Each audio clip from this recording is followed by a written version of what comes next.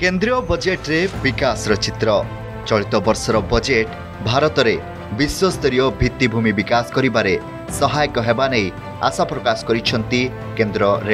सूचना प्रजुक्ति विद्या मन्त्री अश्विनी वैष्णव न्यूज न्युजको एक्सक्लुसिभ साक्षात्कारले रे आगामी दिनको जाति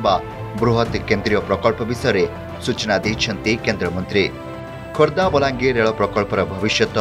ভাৰত গৰব ট্ৰেইন চলাচল আৰু ৰাজ্যৰে মেট্ৰো ট্ৰেইনস ভাবিষ্যতে সাক্ষাৎকাৰৰে ৰেল মন্ত্ৰী আলোচনা কৰিছন্তি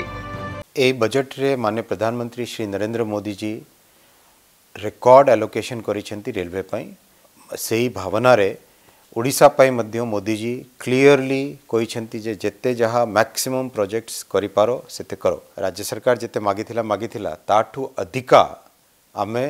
ବଜେଟ୍ରେ ଦେଇଛେ ଅଳ୍ପ ଦିନ ମଧ୍ୟରେ ଖୋର୍ଦ୍ଧା ବଲାଙ୍ଗୀର ପ୍ରକଳ୍ପ ଶେଷ ହେବ ବୋଲି କହିଛନ୍ତି ରେଳମନ୍ତ୍ରୀ ଅଶ୍ୱିନୀ ବୈଷ୍ଣବ କିଛି ସ୍ଥାନରେ ଜମି ଅଧିଗ୍ରହଣ ସମସ୍ୟା ଲାଗି ରହିଛି ପରିବେଶ ମଞ୍ଜୁରୀ ମିଳିଲେ ବାକି ଥିବା କାମ ଅତିଶୀଘ୍ର ଶେଷ ହେବ ବୋଲି କହିଛନ୍ତି ରେଳମନ୍ତ୍ରୀ ଏହା ସହିତ ରାଜ୍ୟରେ ସାଢ଼େ ସାତ ହଜାର ଗାଁରେ ନେଟୱାର୍କ ପାଇଁ ବ୍ୟବସ୍ଥା ହୋଇଥିବା କେନ୍ଦ୍ରମନ୍ତ୍ରୀ କହିଛନ୍ତି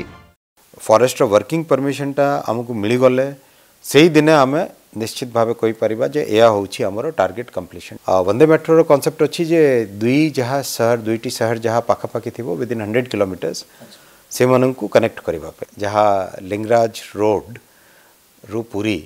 से ही सर्किट को आम प्रायोरीटी ने बहुत भल कम भी चली फिल्ड पुरी श्री जगन्नाथ मंदिर को आसुवा श्रद्धालु आरंभ हो भारत गौरव ट्रेन को नहीं जी खुशी प्रकाश करुंट आगको एपरि अधिक ट्रेन र व्यवस्था हुनु बन्दे मेट्रो ट्रेन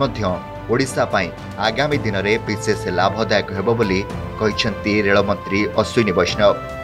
भारत र अठटी सहररे मेट्रो ट्रेन सेवा जारी रहिलेबिओापा ए मेट्रो चलाचल जोजना नष्ट गरि